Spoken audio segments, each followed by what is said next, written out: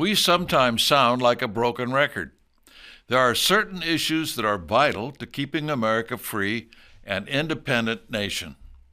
Unfortunately, there are pundits who do not mention these issues or take the wrong side. In other words, present false solutions to our problems that have the potential to make things even worse. What sparked me to do this segment was an ad on conservative social media network which asked people to sign a petition for a particular so-called solution to our problems. The ad is not important, but the action they're asking you to take needs to be discussed.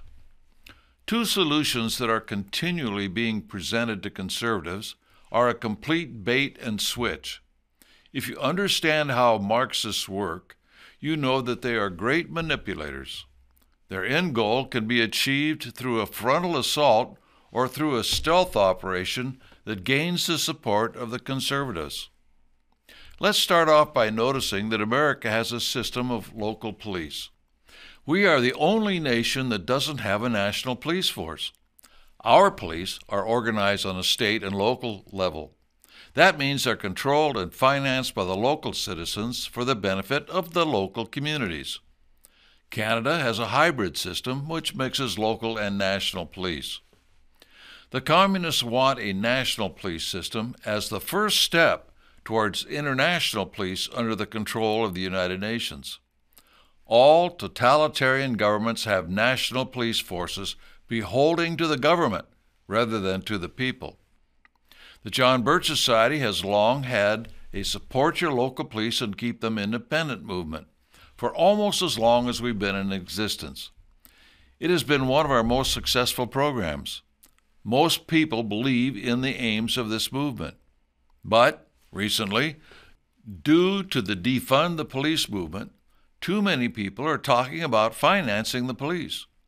Usually, this means financing from the federal government. The problem with this is that once the federal government starts to finance and equip local police, these steps begin to ultimately bring local law enforcement under federal control. In other words, a national police that will not be controlled by the state or local communities. So, yes, let's adequately fund our local police departments, but do it locally without federal money or guidelines. Because once the federal government gets involved, it will ultimately take over the local police departments like night follows day.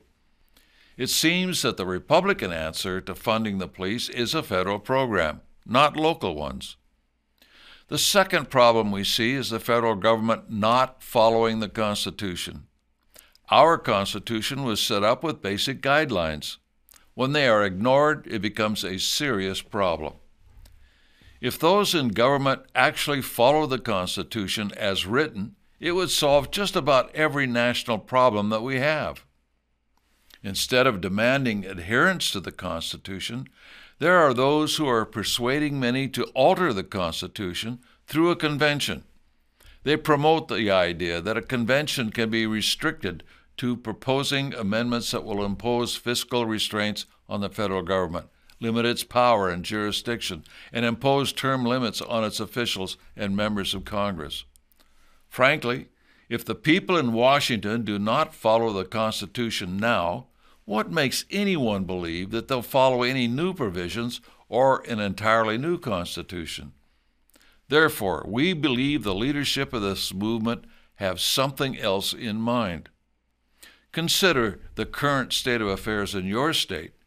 Can you be sure the delegates representing your state to such a convention of states or constitutional convention will be true constitutionalists? How will they be elected or appointed? Do you have true constitutionalists in the leadership of your state, or do they say one thing and do another?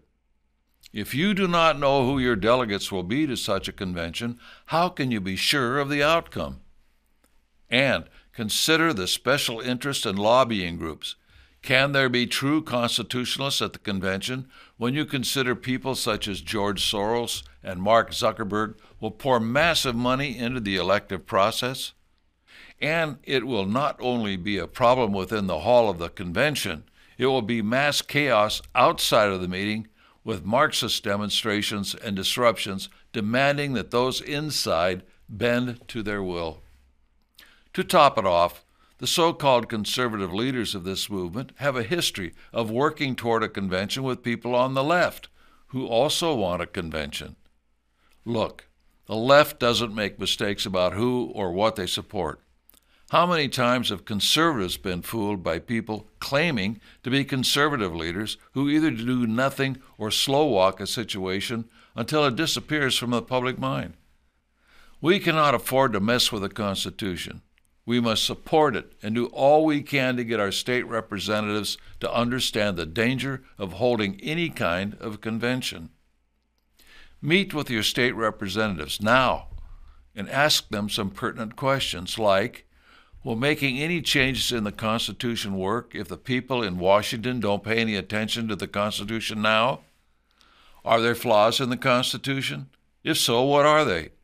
And will changing them make any difference in Washington's adherence to the Constitution? Ask them, have they really studied the Constitution? Try to get them to watch The Constitution is the Solution video series. Adherence to the Constitution is what we need, not changing it. The forces behind this movement are heavy with cash. From whom? They are very closed about who is paying for all of their spending. They have convinced several conservative leaders to support some form of convention. It will be hard to convince some of these people to change their minds. When you run across them, do all you can to simply use logic to demonstrate that they are looking at the wrong thing to solve our problems. The place to look at is the electorate. They must be educated. If they're not, they will continue to vote for false candidates and solutions no matter what the Constitution says and get as many people in your neighborhood to watch the Constitution is the Solution video series.